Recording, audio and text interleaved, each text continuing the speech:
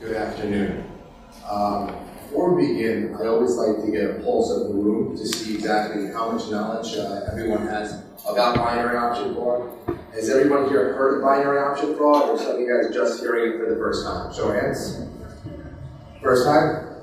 Okay. So we're going to take it from the beginning. Um, during this presentation, as I take you inside a multi-billion dollar crime ring known as binary options, I'd like to address it from two points of view.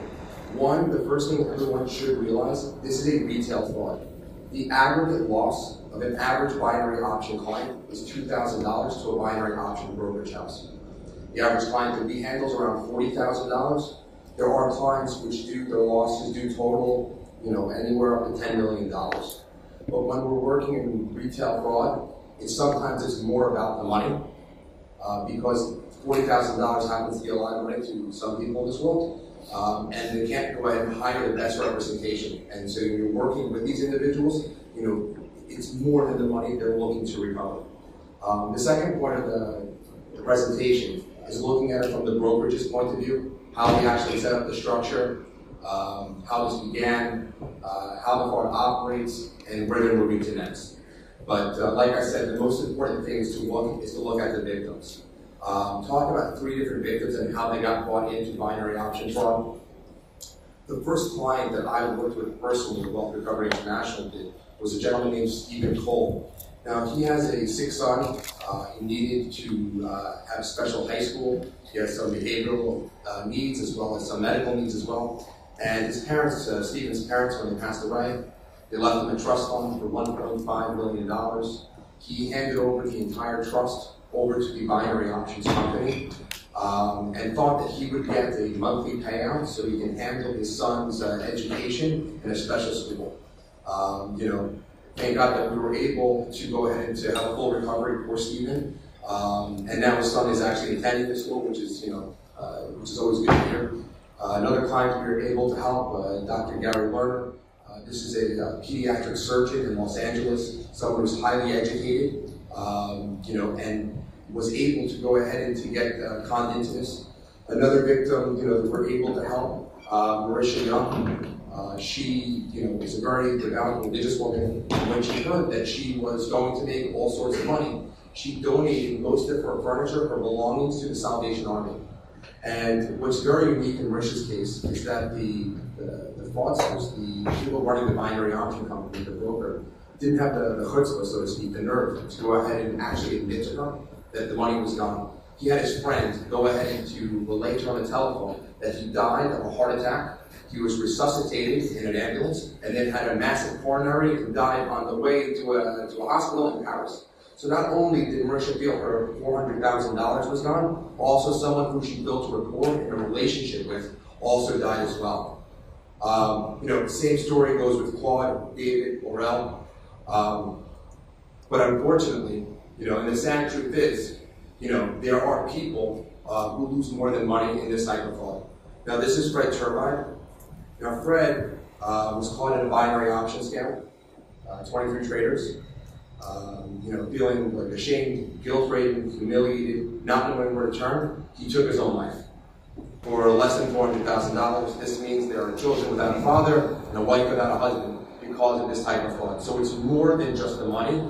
Um, and that's, you know, when working in retail fraud, you speak to a lot of different uh, people and their stories. You actually take some of those stories in with you, and I think it's really important uh, for everyone that understands this fraud is to understand it's really victim based. So, what attracts people, you know, so exactly what are binary options? Binary options are instruments or bets on whether the price of any asset will increase or decrease in a certain set of time. Let's just take oil, for example. Let's say, will oil go up or will it go down in the next 15 minutes? Um, if the, trader is correct, they would receive, uh, let's say, an average of about an 80% return. And if they were wrong, they would lose 100% of whatever money they placed on that trade. So there's two things that attracts people to this. One is that it's extremely simple to understand in concept, and two, to make an 80% return in 15 minutes um, is extraordinary.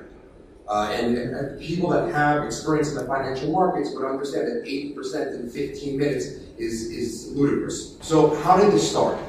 Um, first, uh, about a decade ago, this is when binary options first came on the scene. Um, fast internet availability, um, a booming online gambling audience, uh, real-time data technology delivery, uh, meaning that we're all accustomed to seeing stock prices and quotes on our cell phones uh, and tablets, uh, zero regulation in a lot of different uh, jurisdictions.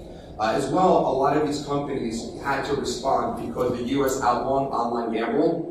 And when that market went down, they needed another product to go ahead and to fill the void, and that's where binary options came in.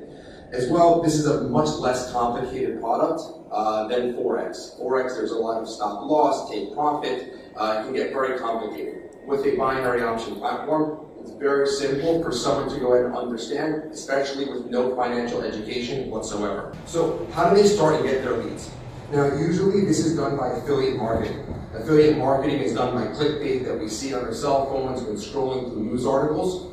Um, and maybe it leads you to, to buy a Disney World ticket or buy something on Amazon. Now, these affiliate marketers are generating huge amount of uh, huge amount of profits, around $450 for every single lead that they are able to go ahead and bring to a binary options brokerage house, um, plus ongoing rev share, meaning that the more they're able to deposit, the more money these affiliate companies are able to go ahead and to, um, to go ahead and make. As well, they have SEO manipulation to ensure prominence of fake and positive content and reviews across Google and social media platforms meaning that they will create binaryoptionreview.com and it will look completely like a third party. It would operate almost like a top 10 review uh, or any other review site they were accustomed to seeing, and it would actually go ahead and say, hey, this binary option company is better than this one, uh, and it would make it look completely third party. But in reality, it's done by an affiliate who is going ahead and wanting people to join a specific program or a specific binary options company because this is the highest amount of profit the affiliate marketer is going to make off of this. And the affiliate marketing is a huge business in and of itself. So I want to go ahead now, it's very important for, we're going to go ahead in a second, we're going to actually watch a snippet of actually what do one of these, um, what do some of these marketing videos look like. And this video here is used by um, hundreds of binary option companies and you know, and to realize this before you watch it, you may think you may laugh and think it's extremely comical, but I can assure you that uh, hundreds of thousands of people have been taken, you know, by binary option companies, and they've seen this Walter Green uh, affiliate ad. You can go ahead to the video. Well, congratulations. You just landed on the world's only done-for-you free money system that has created 152 new millionaires and $189,671,458 in profit for just the past 90 days. Now, prepare for changes, big changes. I have over $1.2 million just sitting in my bank account. Now, I never thought this would happen to me, and all right, so as, as we can see that we're probably watching this and we see these actors are someone they found on Fiverr. Um, you know, but I'm telling you, this is what gets people roped into this. So it's, sometimes it's very difficult for people, you know, when going ahead and fighting this type of fraud, they don't understand how they were taken in and how they lost, uh, you know, over upwards of $100,000 to a video like that.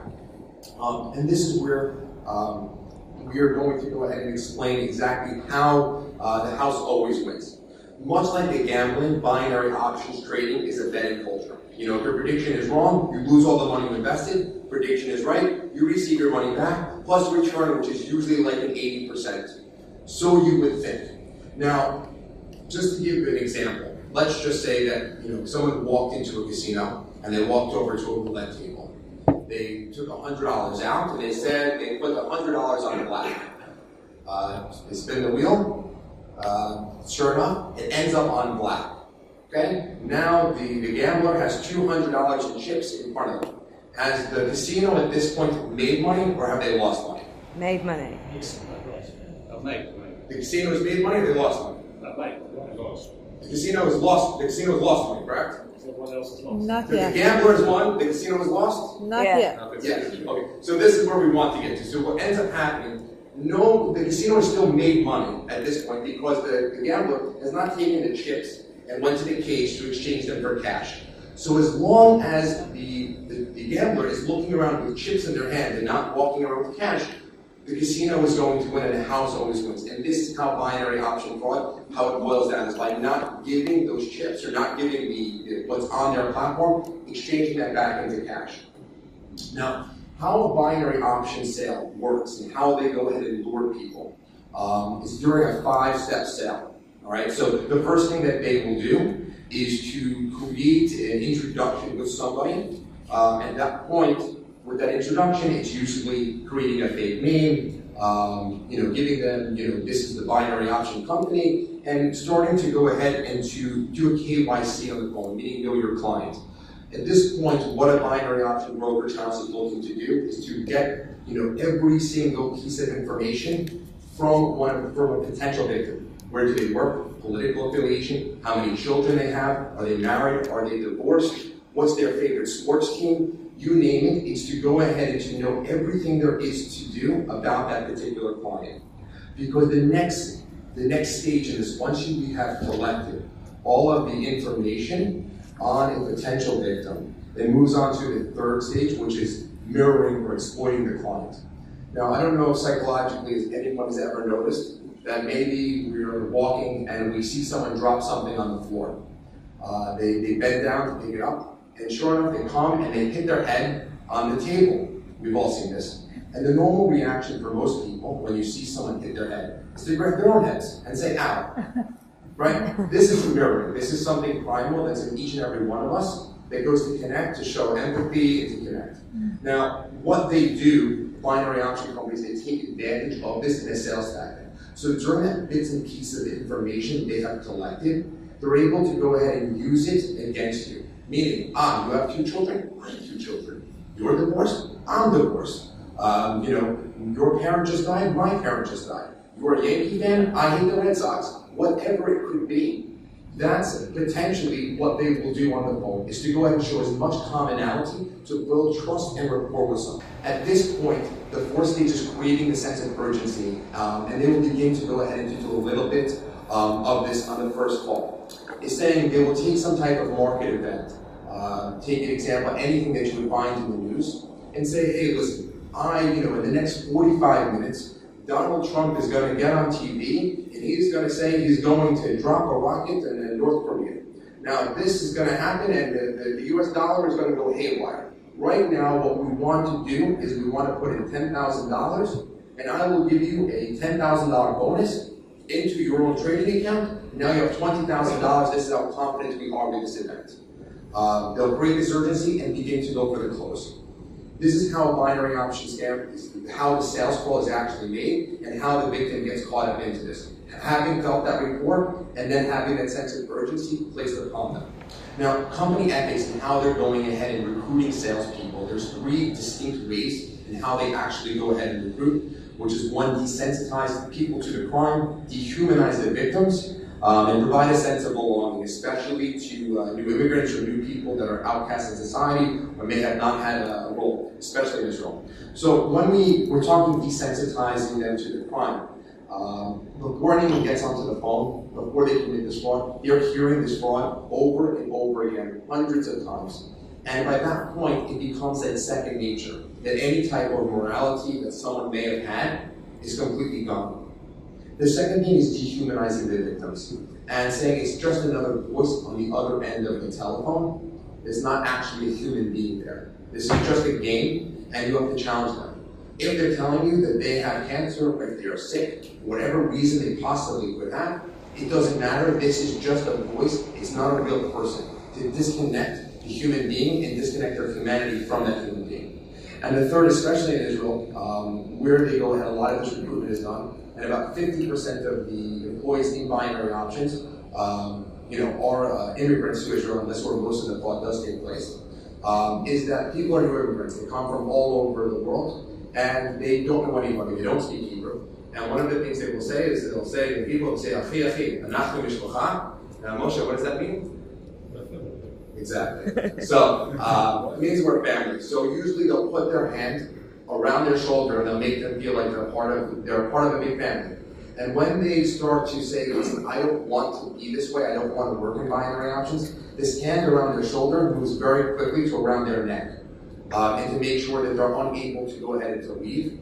Uh, and this happens to many different people that I've spoken with personally who feel that they were exploited and they can't get out from working from these types of companies, very similar to uh, organized crime or some type of street gang. Um, the scam and how it works. Once a buyer, once a trader has invested the money into binary options, the broker makes it almost impossible for them to withdraw their funds. Um, to coerce the trader into investing more money, the broker will allow for them a very small amount of money. This is a popular manipulation tactic. So there's three ways in which people are able to get their money back out of a binary options company. The first is going to be completing a chargeback, contacting their credit card processor um, in the first 120 days. It's a straightforward procedure. Uh, I think in the UK there's a Rule 75 or some type of bank fraud. Um, the second way to go ahead and to do this is they will actually release, the brokerage houses will release a small amount of money in the beginning as a test withdrawal. Once you're able to see the money coming back to you, you're able to feel a little bit more confident and you're able to maybe convince your wife that you should put more money in or you'll feel that you should move your 401k or your pension uh, to the binary option company. But once you see money coming back your direction, um, you feel okay. The third way in which I've seen people get money out of these types of companies is actually to scam the scam, so to speak. Let's say that you put $10,000 in, they say, listen, if I get this 10 grand back, I'll invest uh, $200,000. At that point, they would feel like, hey, it's worth a chance. And this is sometimes we'll you know, speak to clients to walk them through this, of how to, to scam the scam, so to speak, so they can become whole again. Um, you know, right now we want to go into how the commission structure works, um, how the stamp actually works. Now, what we're looking at here is an actual indictment from the FBI um, obviously, in UK, it's got some really strict uh, slander laws, or what I've been warned from my attorney, so you'll have to bear with me, and um, you know, we link a couple things out here. Now, binary option employees receive about five to eight commission, eight percent commission on deposits, um, you know, minus their withdrawals, uh, providing further incentive not to allow clients to withdraw. So let's read through this um, section 28 on the FBI indictment. It says the salespeople and managers receive commissions based on the amount of deposits obtained. According to witness 1 and 2, customer withdrawals were deducted from deposits when calculating commissions. This incentivized by sales staff and managers to do everything possible to prevent withdrawals. Defrauding the client. Now, how does how does the actual fraud take place, and what are they actually doing here in order to make sure the client is never going to see this money again?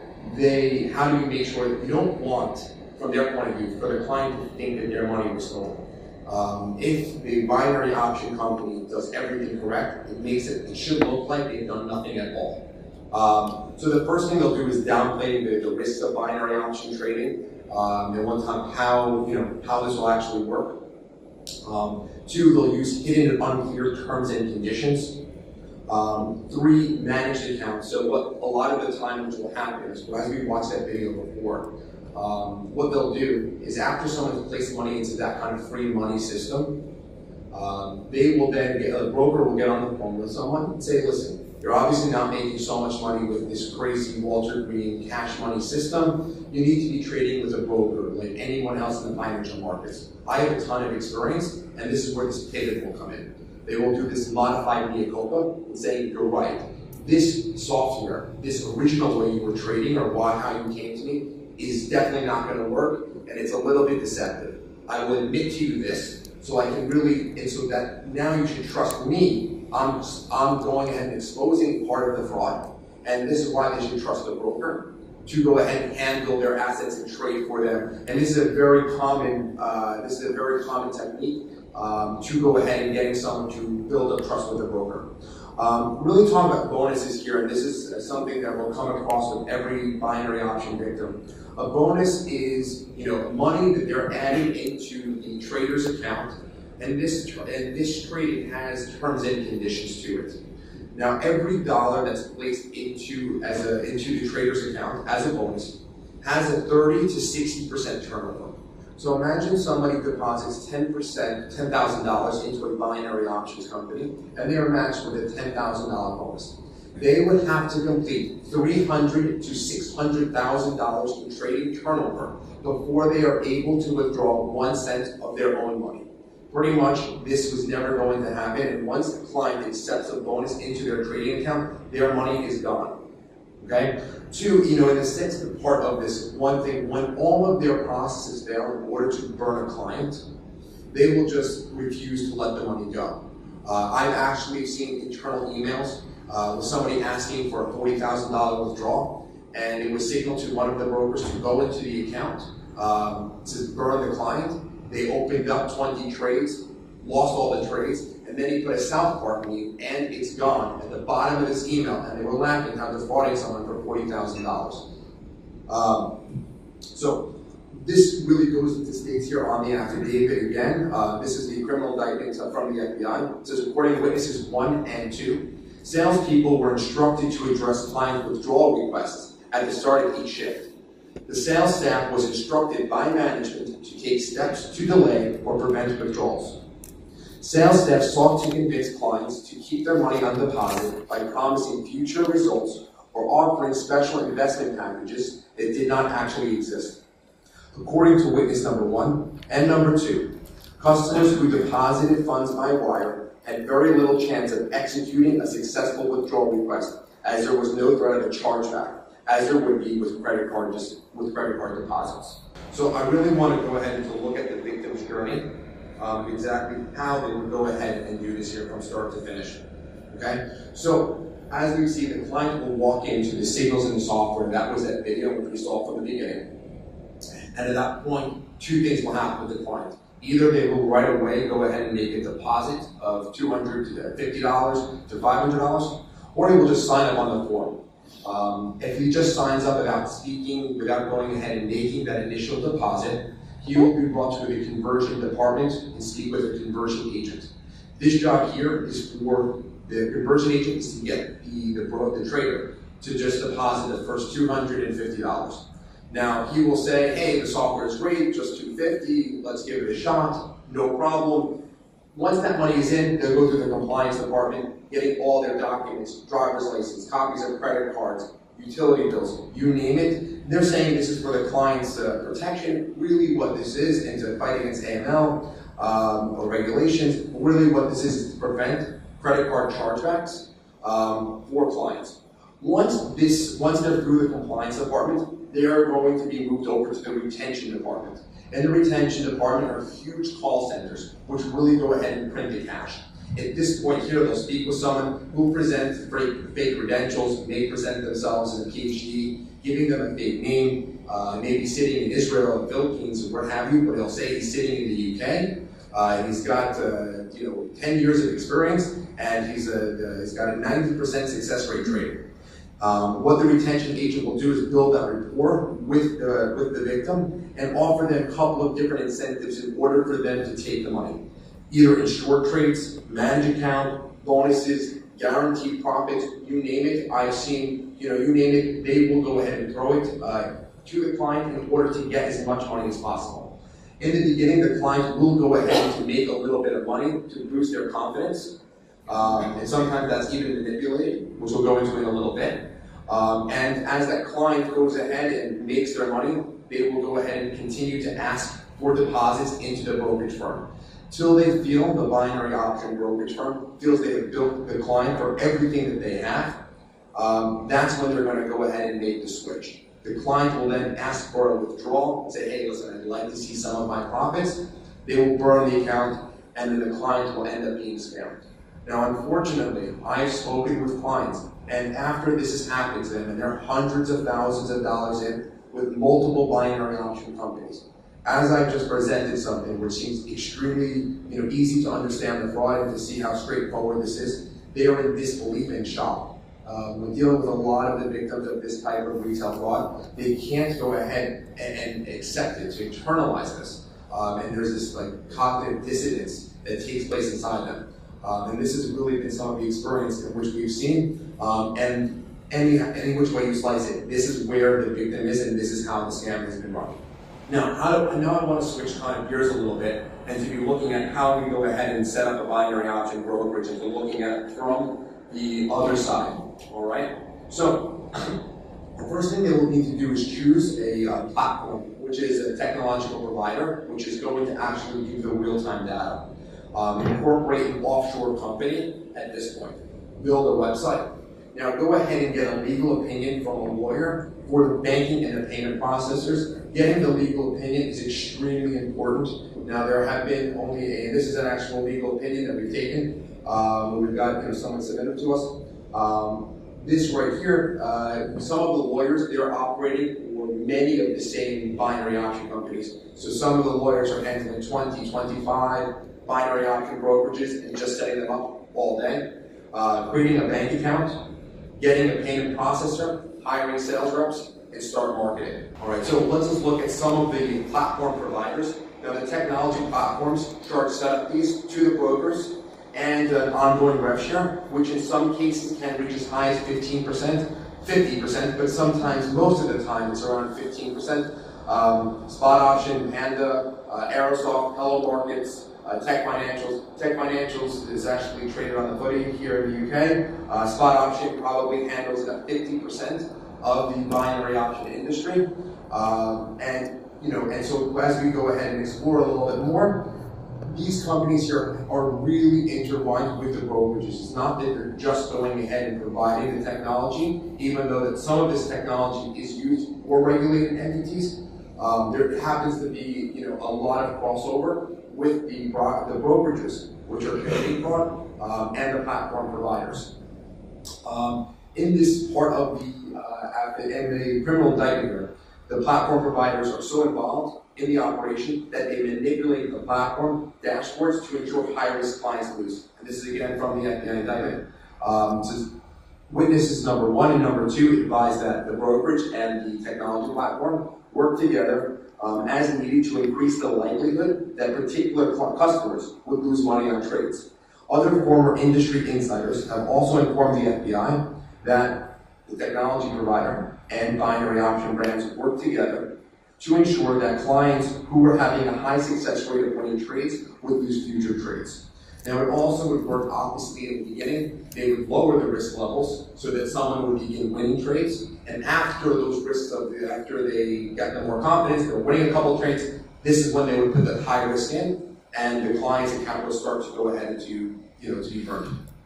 Now, to show you here what some of the, uh, uh, to show you exactly what uh, what a platform will go ahead and look like here. These are the same technology platforms, uh, very similar. The only thing different is the colors, pretty much, but it's the same exact platform as you guys can see. Uh, but they just go ahead and it's all white you know, whatever the case may be. It's just different colors. Uh, they're able to go ahead and to just sell it, and the same technology behind each and every one of them.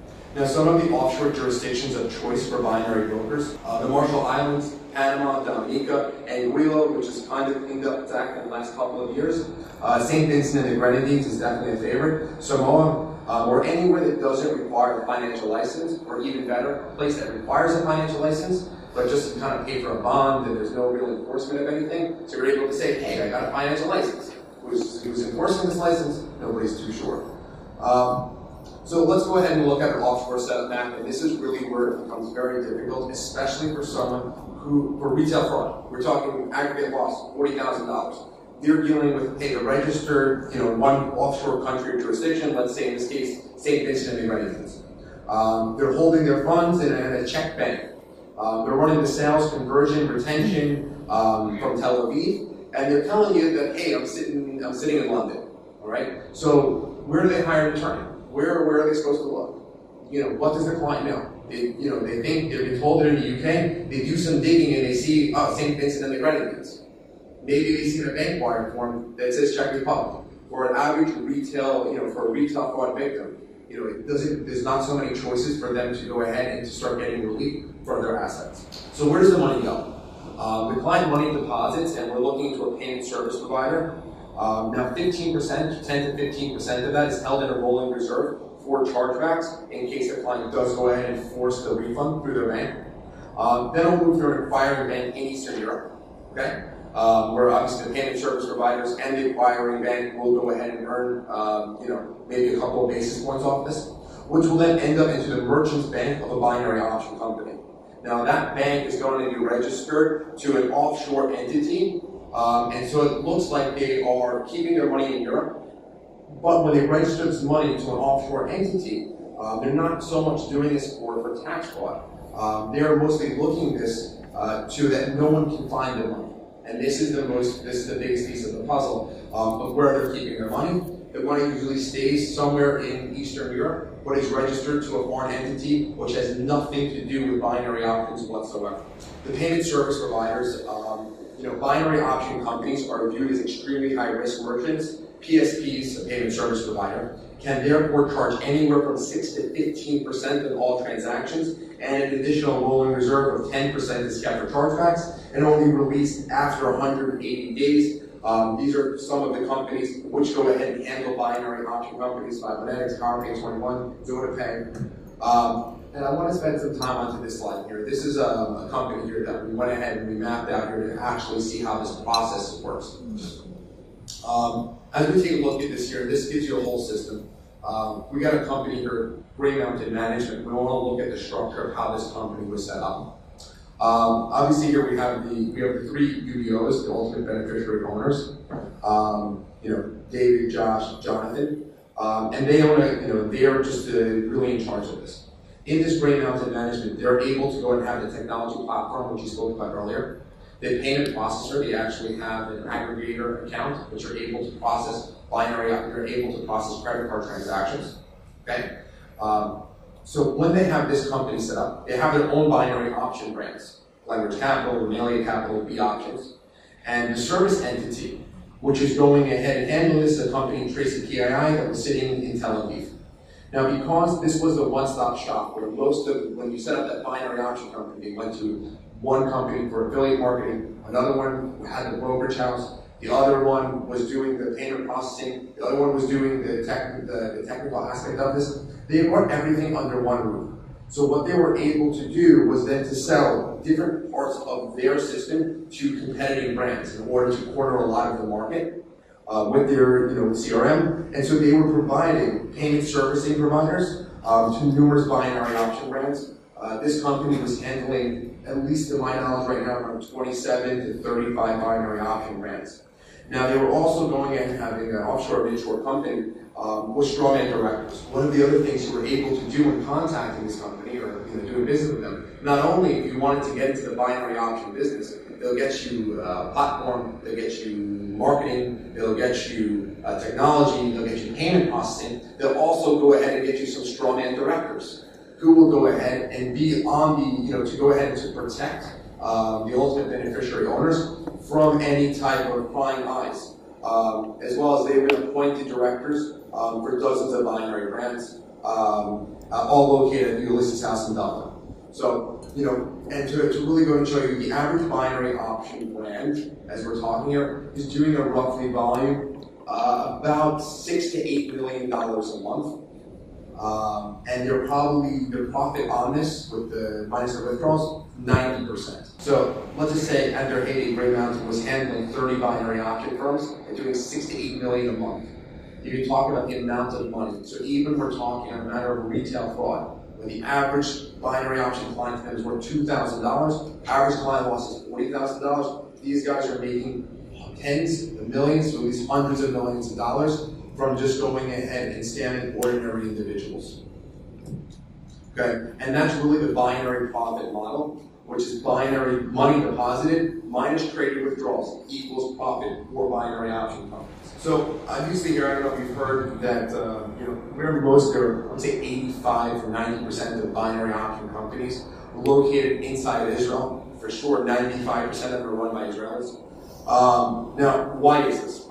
Um, one, cutting edge Israeli technology outside of Silicon Valley, the amount of high tech that happens in Tel Aviv is everything from Waze, every company's got an R&D facility inside of Tel Aviv. Technology, just like a knife or, you know, uh, nuclear energy, can be used for good, can be used for bad. Um, this is definitely something that's used for the negative side, but the technology is definitely there.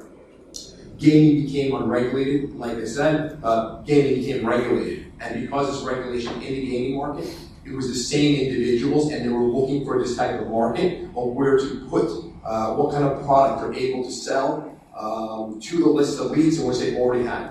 Um, intercontinental, multilingual available workforce. Um, a lot of the times um, that you have a lot of people immigrating uh, to Israel, especially from Europe, and they speak the language, uh, so to speak.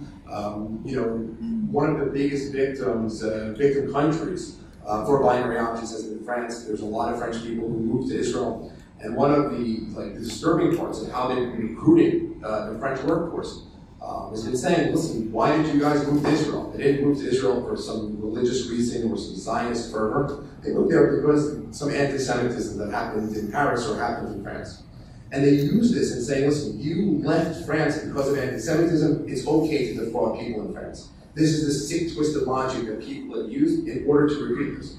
Um, so, I mean, just to show you how disturbing and how disgusting that thought is, I don't like painting Israel this way, but I, I tell you the truth. I mean, you know, not uh, you know, not all Israelis are committing fraud, but a lot of people committing fraud happen to be Israelis. Um, okay, and two, and for this limited government resources, I'm sure everyone can understand there's a lot of geopolitical situations. It's a small country. There's a lot of different threats that go on, and the government can only do so much.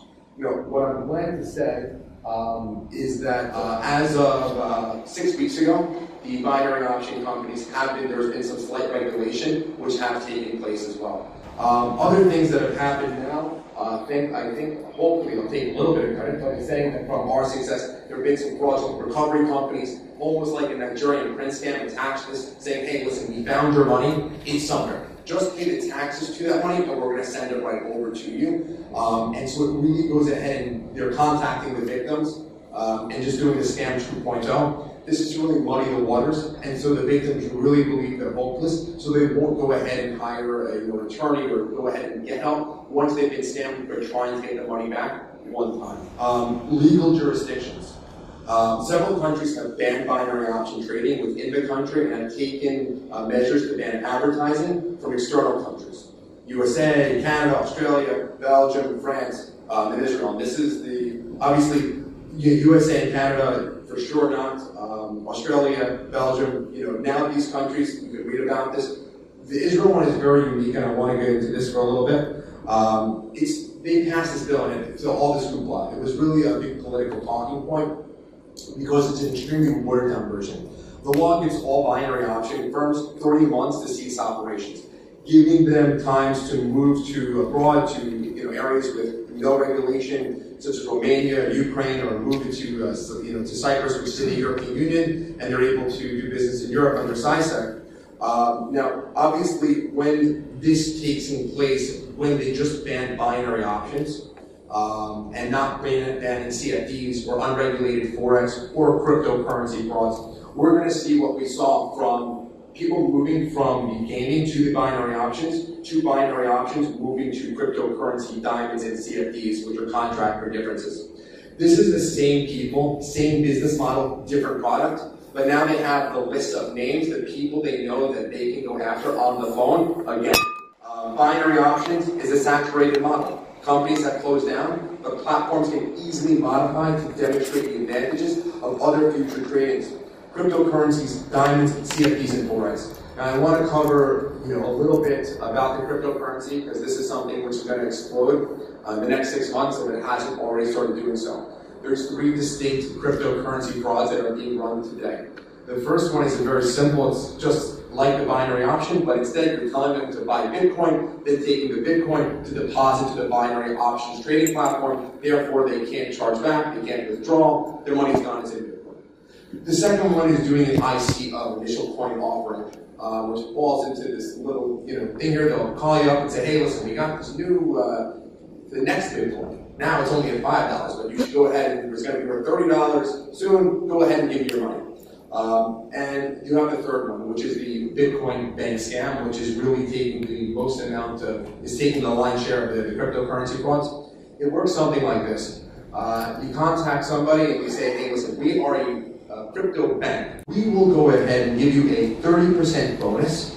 Um, that you're able to go ahead and have that 30% bonus right away, as long as you agree to keep your money tied in the bank for six months to nine months, almost like a CD. All right. So what is very scary about this cryptocurrency fraud is that bonus is actually real. That's the only thing real in this fraud. So right away to their wallets of that, uh, you know, where they're keeping their Bitcoin, 30% of that bonus they receive is actually made into Bitcoin. They're able to get it, they're able to go ahead and buy stuff and to see that's real Bitcoin.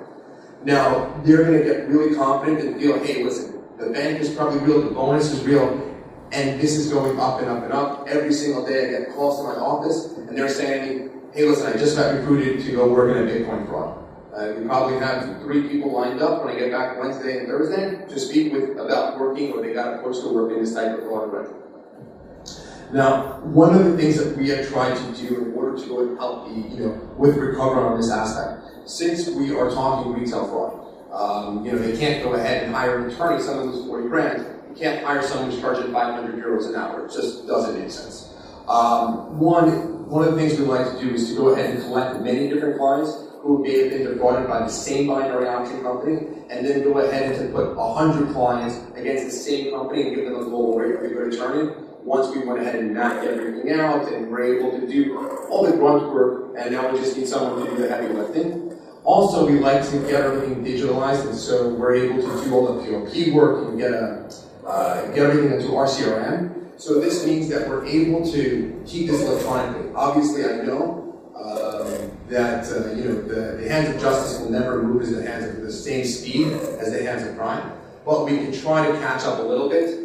I got to tell you, I'm 33 years old, but every time I walk into an attorney's office, I feel like I walked into like the 90s. There's paper everywhere. You know, it just seems like uh, you know, seems like everyone's kind of stuck in the 20th century. We try to move everything to the 21st century and get everything digitally done, so we can move a little bit quicker um, and, and, be able to uh, you know to be able to catch up for this type of fraud. Um, you know, the recovery model which we do work with is we like to go ahead and speak with individuals who have worked in this type of fraud. Um, now that they're moving or they get a con, they, they get uh, they start feeling some remorse, they'll come in and speak to us. We'll go ahead and uh, get their um, pay stub from working at the actual place in, in Tel Aviv where they were selling the binary options. They'll come in and sign an affidavit for us, which will go ahead and give us the owner's names, their locations, how the fraud was working, um, gathering intelligence and mapping the culprits, uncovering the real UBOs and decision makers, at this point, hopefully, we're able to then go ahead and present all the information to these culprits, to the binary option brokerage houses, say, hey, listen, this is the evidence in which we have for the client. Either A, you can return the client's money right now, or we can move this start to the legal proceedings. Um, you know, and hopefully they're able, most of the time, um, most times they'll just return the client's money because you know, it's not worth it for them. They've done so much work to go ahead and hide themselves um, and to layer themselves so deeply that once you're willing to go ahead and uncover all this information, it's, it's not worth the 30 grand it is to them to have to restructure again and again and again. So that's the way we like to do it when the when the client, when we do have a client's loss that was you know $10 million, this obviously needs to go to litigation. You're not going to write a letter and get $10 million you know, from a binary option company. Um, you know, that's really going to go into how we go and fight this uh, what I'd like to do now is open the floor to questions you guys have, and I really you know, appreciate everybody coming. It seems like a pretty large crowd. I really thank you for, uh, for coming here. Thank you.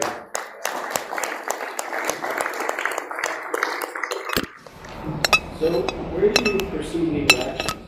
Sure. Uh, good question. So, multiple jurisdiction. What we will try to do is to always get U.S. jurisdiction, at all possible, we scare them because the U.S. has taken some criminal action, and so this is kind of the hot flavor of the week. So either it's going ahead and they trade it in U.S. dollars. I mean, uh, as well, and we'll hire some people. Mean, should I work a lot with. We try to hire Arthur Van here to do a lot of the U.S. Treasury work, and to get something really good with that. I mean, so she go ahead and you know, definitely speak with him and other types of issues. But uh, that's we'll always try to get to a U.S. jurisdiction. If can't, we'll sue them in Israel um, or in whatever jurisdiction their money might be. So we always try to do the U.S. because in Israel there's a 2.5% filing fee, and the petitions are a nightmare, and it's got everything's got to be translated to Hebrew. If we can do everything into the U.S., um, that would be great. Uh, but anyone who does business in Israel or knows the court system in Israel, it's like a, it's a real nightmare seems that you have sound empirical data that Israel is the originator of this, originator and the main propeller of this fraud, binary options fraud. And it seems uh, that the technology platform is a key component of implementing that fraud. So, have you thought of a disruption strategy for the technology platform, or is just the provider you're looking at? You know, one, we're looking to get the money back is for the client from retail fund. Now, let's just look at a company that's spot, spot. They are worth five billion dollars. I, the clients or myself, do not have the type of like resources to go ahead and tackle such a behemoth. I mean, that's just the, the truth. And so um, we definitely are starting to look at it, and that's definitely a legal strategy to have. But we're always looking to go ahead and to do two things: to get us money back to the client as quickly as possible, and also to get them a, a, some peace of mind.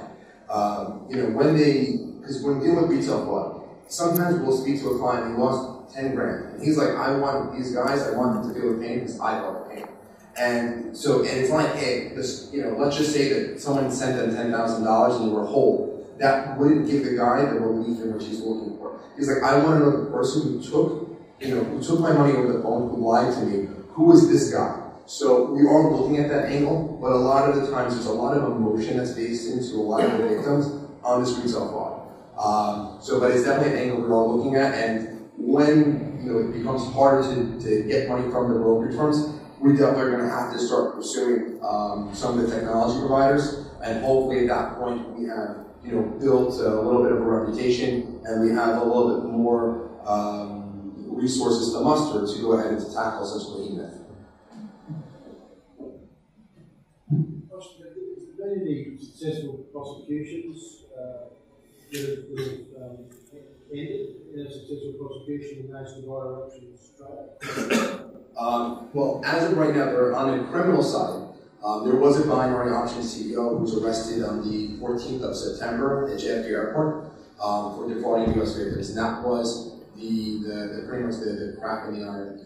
Um, when it comes to civil, when it comes to civil litigation, um, most of this stuff settles before it actually will go um, to litigation. They don't want to go and have, uh, especially with me. I know of a couple of cases um, that have lost actually binary options. There's four in Israel. There's four different cases, if I'm not mistaken, of binary option fraud, which was kicked out of Israeli courts. Um, and this is because the attorneys, people handling the type of fraud, weren't really versed into it, and they didn't know how to structure the petition comparing it not legally to gambling, um, and that's really a lot of different things. It's been a quite of a challenge, and I think that when I'm speaking with attorneys, a lot of the time, um, and I know there's a lot of attorneys here, but sometimes attorneys can be like really arrogant sometimes, and it's very difficult uh, to get a lot of the information. You know, saying, "Hey, this is what's going on," and how do we communicate this same information to an attorney and to a victim at the same time? Um, and once you know we're able to speak with attorneys and they're able to understand this type of fraud, because when I show them that video, they're like, their minds blown. It's like, how does somebody for that? They don't get it. Um, and that's the hardest part of going ahead and communicating for them to understand what the fraud took place. And that's where we're always looking to build a network of attorneys and people that we have like dedicated partners that we're able to move with like at a moment's notice and they understand how the fraud works, you know, what the client's needs are, um, being able to work within our parameters and the client's parameters, and being able to go after them, you know, right away. Um, and that's really what we're looking for to build a network of attorneys. Um, and we're, we just put together a really, really nice CRM, uh, which will be able to hold a lot of data and to go back and forth with us uh, and to move this thing on really, really quickly. Um, and I, it's something I'm really excited about you know, to start bringing forward. Yeah. yeah. You mentioned that um, one of the reasons that the uh, binary options uh, hunters collect due diligence is to try and build a rapport with the victim. Mm-hmm. But you also said that uh, having this due diligence prevents credit card chargebacks. Mm-hmm. How does it prevent chargebacks? Sure. Um, so when doing a credit card chargeback, usually the victim will have one opportunity in order to file the chargeback. So there's many different credit card codes um, in which the client can go ahead and have. Most of the time, the client or the victim will say, hey, this is a fraudulent transaction. Uh, and they won't go ahead because of a lot of shame and humiliation. They will say, hey, listen, I was defrauded. I didn't do this transaction. It wasn't me. I didn't get involved with this. They will then have, hey, listen, here are the terms and conditions he signed. Here's his driver's license. Here's the credit card trend. Here's the copy of his credit card, which he sent over to us. This is meaning the client doesn't want to pay. He lost the money fair and square. Um, how we fought the chargebacks and had some success is by saying the product not delivered as advertised. This will give us a little bit more time. We've gotten some chargeback for clients I think going up to maybe certain banks at 460 days after the transaction, but many times without the legal letter of opinion or someone who's experienced in fighting with the, the bank, it's going to be extremely, extremely difficult uh, for them. And so if a client, they get one opportunity, it's not like, hey, it was fraud. They say no. Then you go back and say, ah, it was, you know, no, I meant to say it wasn't as I got the, the goods or service warranted advertising. The bank won't want to hear you again. And they know that.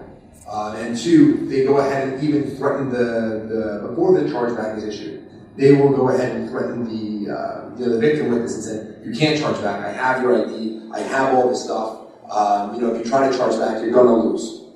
You know, uh, and then so they prevent them from even trying. Any other questions? Yeah. Uh, Bitcoin fraud. Yeah. What's the future? This the future with Bitcoin. That's this pretty much is going to be the future. So uh, I'm not an expert in Bitcoin. I'm more of an expert in Bitcoin fraud. But as far as I know, the algorithm is going to end out to 2019, 2020. Um, but the way this is going to work is because they already have the list of people that have deposited into binary options fraud. They're just going to re-email blast the same individuals again.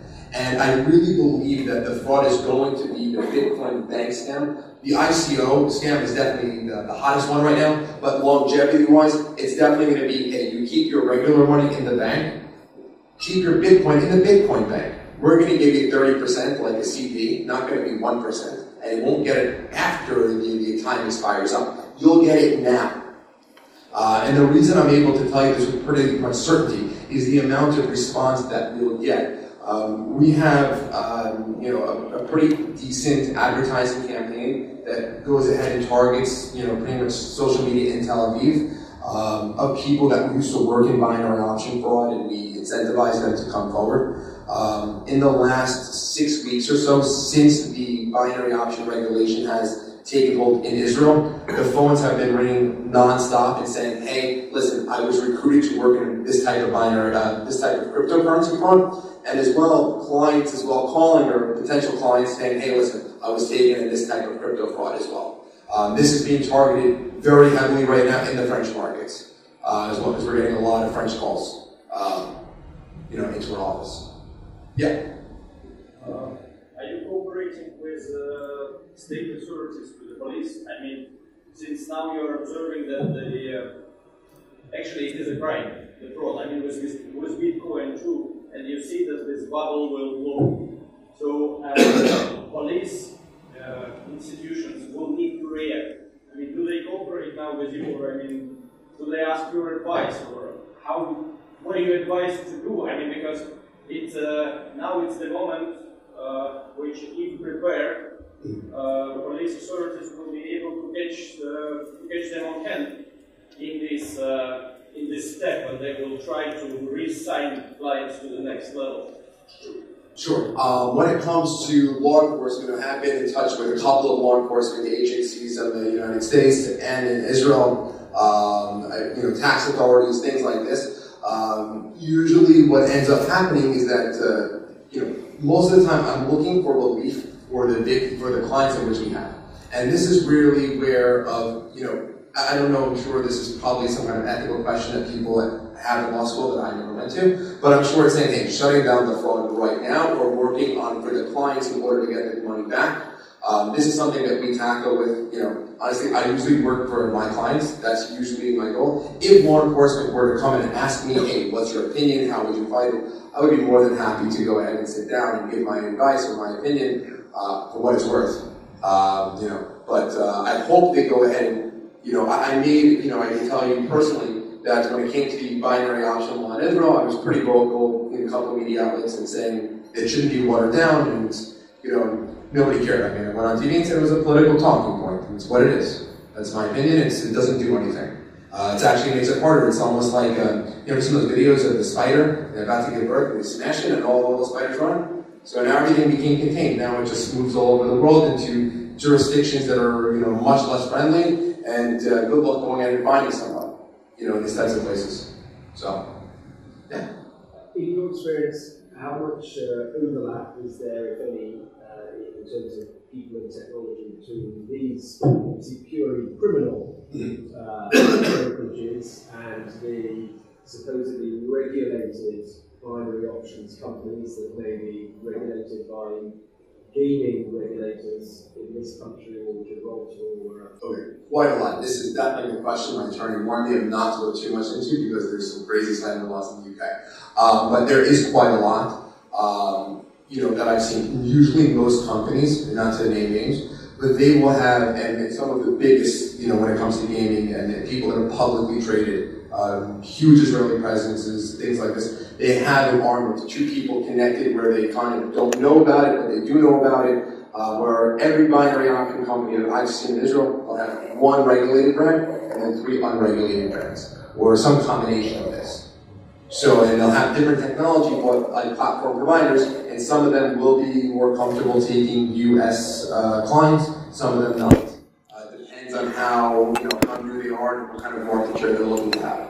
Like right now, Spot won't take the US client. There are, you know, Airsoft is looking, will take, still take US clients on their platform. So it just depends, but there is always a ton of crossover. Um, every single person I know, I never met a single company that says, listen, we only do it regulated, and everything's in, in separated accounts, everything is kosher 100%. I've never seen it. You mentioned the three brothers who were uh, behind one of the companies. Right. If I understood you correctly, uh, you know, you have you have many or had many binary option companies, but behind them there were fewer companies. I mean, this is was some uh, some concentration. I was just wondering, have you gone after the owners of these companies? Have you uh, uh, simply, you know, going to them personally trying to uh, to uh, get assets from them? Sure. Okay, so with this company in particular, our clients we actually have, we've done two. So one, we got an active settlement with them, so our clients are kind of getting refunded now, so we're getting the assets back. So, you know, thank God we don't have to go that far. But one of these companies is going ahead and filing insolvency, um, you know, right now in, in Dublin. Um, so we're never trying to fight this again. So this is where some of the challenges where, hey, we got to get the best lawyer possible, the best insolvency lawyer in Dublin to go and fight it um, is quite expensive. Now we're talking 200 clients, so we're able to get a global rate. Um, but at the same time, uh, it's difficult to go ahead and to 200 clients and to explain this uh, to an attorney who doesn't have any experience in this type of fraud because it's so, most people that I've noticed, it's easier to explain something that's a little bit over the line than something that's way out there. Like their mind doesn't even like, comprehend it for some reason.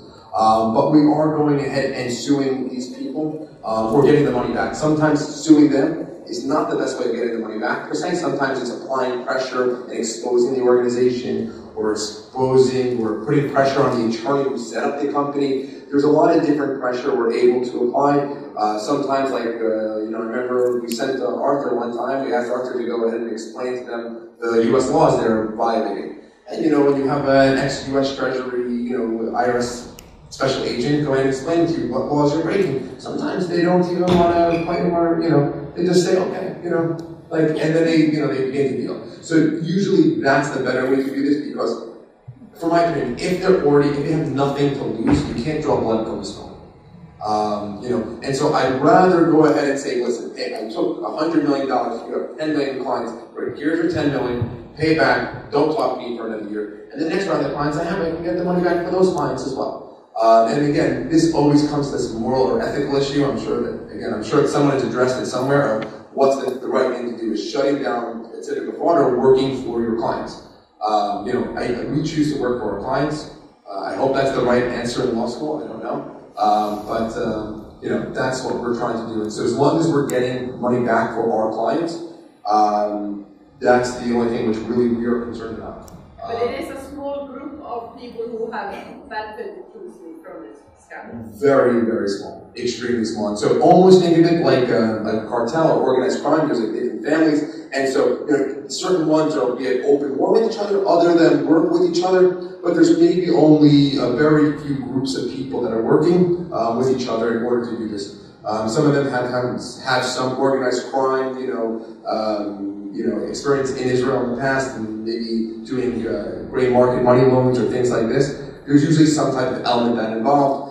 Um, when you're getting you know, to tell you an attorney that I've worked with in the past, uh, I currently work with, uh, she had a dummy bomb placed under her car, you know, for going after one of these guys, um, followed around. Uh, we've spoken with someone just this week. They were in, um, I want to say Bulgaria or Romania, I think. Uh, so Bulgaria. Bulgaria. Bulgaria, and uh, she was from the U.S. She wanted to quit. They threw a brick through her window, and they put this sign, you know, on her car. I mean, you know, really scary stuff. So she's like, I'm not speaking to you until I get touchdown in Los Angeles. So you know, this is, um, you know, this is like the sad reality of this. I mean, that's the, the type of people you're dealing with.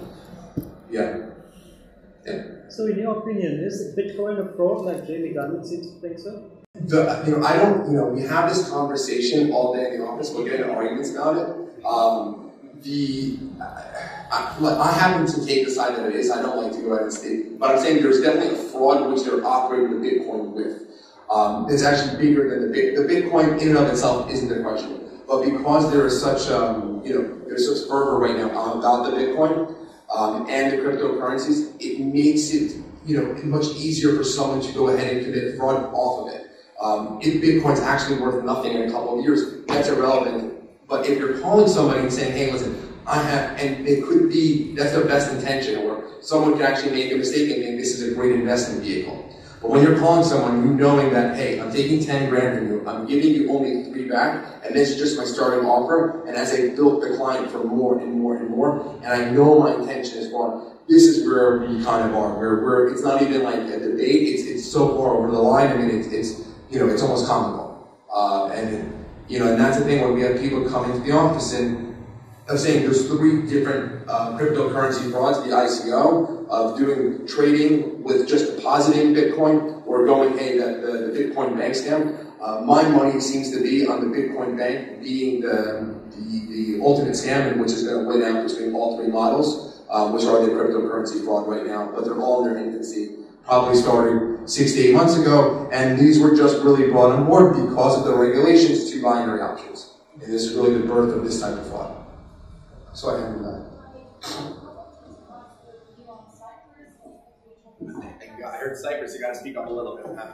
Um, I wanted to ask what your view is on Cyprus, what the future is for Cyprus, if you've had an escalation in cases from Cyprus. Uh, sure, because Cyprus, obviously, one, the, I think the tax revenue in Cyprus is 12.5%, 0% dividend tax. I'm, I'm not an accountant, but this, um, as well as when you get a size CySEC license, uh, it's part of the, you know, part of the, you know, the EU. So because they're all binary option companies, the ones that were regulated, they were incorporating in Cyprus, getting a Cypriot bank account and having a small presence in Cyprus um, to have. Now, I think that it's 2 million euros. If you're putting in, you get uh, European citizenship. Uh, they have a lot of different incentives.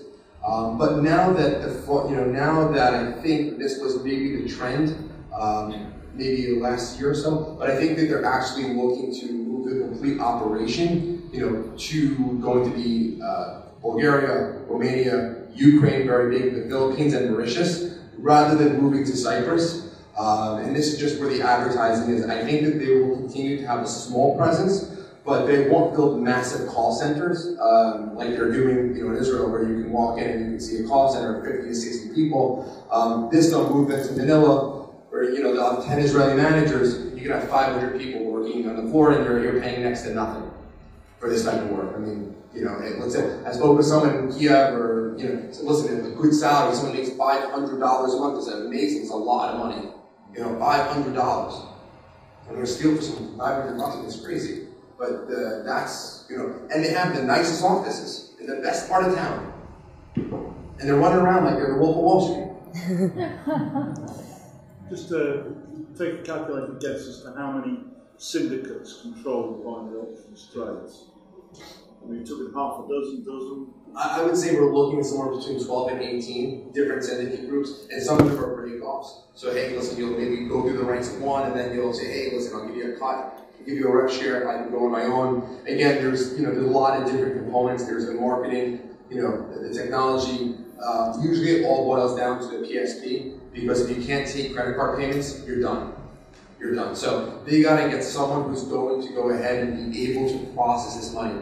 If you're new in the game, no bank, I don't care what letter of opinion you have or how much assets you may have, no bank is going to allow you to process binary option um, credit card you know, transactions. The only way to do it is if you have a pre-existing relationship with that bank, um, or you're able to go and have, you know, to run your own aggregator. Um, you get authorization from Visa or MasterCard to run an aggregate account yourself and just controlling who goes in there.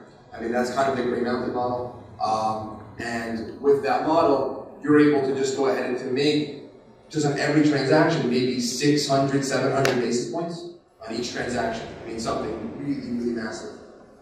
So just to follow up with boiler rooms, uh, you know, you get usually the way it works is one group will steal from the other. They'll go off and they'll take leads, etc. With boiler rooms, historically, with some of the syndicates, they would kill each other. I just was interested in binary options. Does that happen or not really? Well, thank God I don't know anybody killing each other, but I definitely do about lead stealing. That definitely for sure does happen. Um, and I've actually heard reported conversations or the calls of saying, hey, listen, this uh, this affiliate is, is going to somebody else, and it's very, very competitive. When people do leave, um, they will go ahead and take a whole database with them. How do I know this? I got people that walk into my office all day and say, I just left the binary option company. I got a whole database with the information, all the client lists.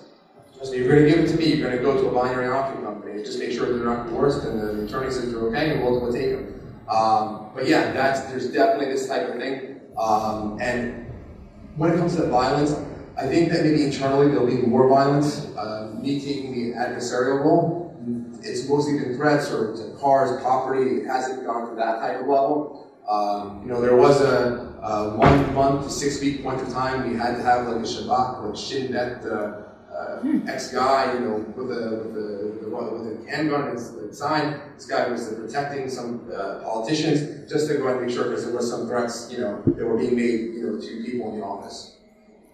So when we're getting threats, it must we must be doing something right. It's a good way to look at it. yeah, go ahead. Is PayPal fraud becoming a partner in this sort of fraud? Like uh, uh, PayPal in US was for Traffic Monsoon, and many people the UK lost their money in the Traffic Monsoon fraud, and it was an MLM fraud, and uh, people were paid to pay for it. Mm. You gotta say that again. I'm sorry. I'm, I'm having a little trouble. Is the PayPal is the PayPal a partner in this binary or not? Uh, the payments then people buy PayPal or not? Okay, ah, the PayPal. Ah, most of the payments are not going to come through that way. Um, they're going to have their own aggregator, almost like a PayPal. Like the PayPal is an aggregator, but these are different types of aggregate accounts. These types of aggregate accounts can handle like adult website traffic, uh, gaming traffic. They're able to control different high risk avenues they're able to have. Once by getting the cash amount that they need to go ahead and control this, I mean, this is like a printing press for these guys. Uh, I mean, we're talking so much money. I mean, and we're talking the aggregate loss per client is only $2,000. So this is why it really stays below the radar, and it hasn't been taking, you know, it hasn't been gotten so much attention um, up until very recently.